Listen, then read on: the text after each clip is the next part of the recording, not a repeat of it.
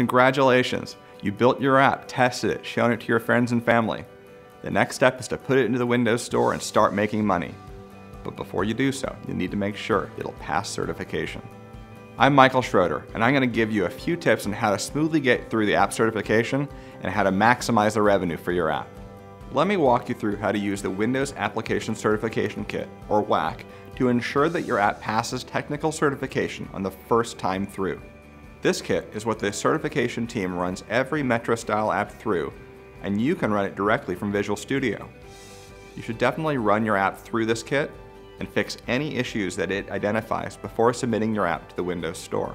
To run the WAC, build your app for release, not debug, and then in the Store menu, select the option to create an app package.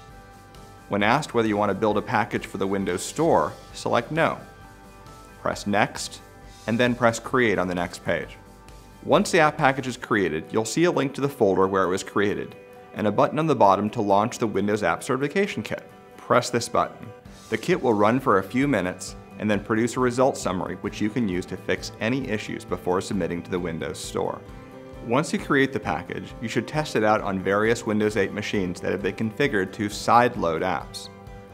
You can even create virtual machines for Windows 8 on other operating systems, but apps that are graphically intensive may not work well when virtualized, as GPU acceleration is typically not possible in these environments. Whereas end users will typically get their apps directly from the Windows Store, you can develop or unlock a computer by installing the Windows developer tools or by modifying the group policy on the system. Take a look at this TechNet article for more details. One of these methods must be done before apps can be sideloaded onto a Windows 8 system.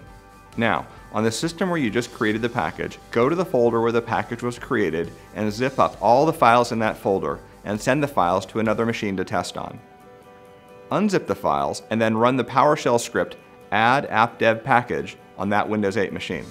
You can run the script by right-clicking on the script file and selecting the option Run with PowerShell. If you don't have lots of different machines with various screen sizes to test on, you can use the simulator from Visual Studio. With the simulator, test your app with different screen resolutions and orientations, and you can even simulate touch gestures. The minimum resolution for Windows 8 Metro-style apps is 1024 by 768. Make sure that your app works in all the resolutions available in the simulator, all the way up to 2560 by 1440. Here's a tip. If your app implements the search contract, make sure you test it out in 1024 by 768, as the space for the search screen is reduced by the width of the search pane. Now you're ready to publish your app. When you upload your app to the Windows Store, you can choose how to monetize it. You can publish a free app, add advertising to it, make a paid app, or even use your own commerce engine. If you make a paid app, you should consider adding a trial mode. We've seen that with Windows Phone that using a trial mode in your app will make it 70 times more downloaded and on average 10 times more purchased than if you don't make a trial mode. It's up to you to decide what the differences are between a trial and paid app. For example, you could limit your trial by features, by time, or even by number of uses. In your code, you just check license information is trial property, and then listen for the license information license changed event. A popular way to make money with apps is with in-app advertising. You can use any ad platform in your app, but if you want one specifically built for Metro-style apps on Windows 8, take a look at the SDK from Windows Advertising. If you're building a video-related app, pre-roll, mid-roll, and post-roll ads are very effective. The open source player framework for Windows 8 is a great starting point for doing so, with built-in support for various ad standards. Another way to monetize your free or paid app is through in-app purchases. You can define these products as features, upgrades, or even content. You can also define a time limit for in-app purchases where a user, for example, might purchase three months of access to your premium content in your app. You're in control of the price of in-app purchases, which can be priced anywhere from 149 on up. If you're planning on selling your app through the Windows Store, then you'll receive 70% of the revenue from app sales and in-app purchases for new apps. Apps that make at least $25,000 will receive 80% of the revenue from app sales and in-app purchases. Today, many online businesses already have their own commerce engine or they're using third-party commerce systems. In Windows 8 Metro-style apps, you can do this too by making a free app and then enabling commerce through your existing system, therefore keeping 100% of the revenue from your app.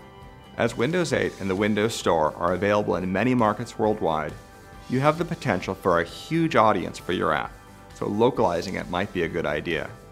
If you want to start planning for localizing, make sure you put your string resources into a JavaScript resource file and then call WinJS resources process all when your page loads. Then you can use the resource identifiers from the JavaScript resource file in your HTML and JavaScript. Take a look at the Quick Start for a step-by-step -step guide on how to do that. Before you submit your app to the Windows Store, make sure that you follow all the certification requirements. Here's a tip. If your app accesses the internet, you must include a privacy policy in your app and in the app submission. Once your app is in the Windows Store, users will start to download it. If you're like me, you'll start to watch the store's analytics reports to track download trends, ratings, crashes, and how the revenue comes in. Since the adoption reports let you see how people in various regions find, download, and use your app, you'll have a great lens on how best to grow your user base. Make sure you watch the ratings and comments. If someone takes the time to write a thoughtful comment on your app, take that feedback seriously. You can also use these reports to understand how in-app purchases are doing and how pricing affects purchases. The cool thing is you can adjust pricing of your app or in-app purchases at any time without republishing. You're in the final stretch of launching your app. We'll help you reach the finish line and get your great app into the Windows Store. And remember to check out the daily tips and the Windows Dev Center website for deeper information. I can't wait to see your Metro-style app in the Windows Store.